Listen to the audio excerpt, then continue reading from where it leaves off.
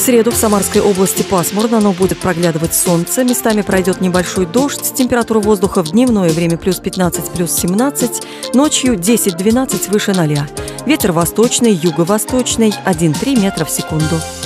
В Сызрани тучи, возможен дождь, днем плюс 15, ночью плюс 11, ветер восточный, скорость 3 метра в секунду. В Тольятти малооблачно, днем 15 тепла, ночью 12 с плюсом, юго-восточный 3 метра в секунду.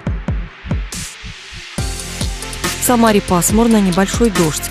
Днем плюс 15, ночью плюс 10, ветер восточный 3 метра в секунду, атмосферное давление 755 миллиметров ртутного столба. Влажность воздуха 46%, геомагнитное поле возмущенное.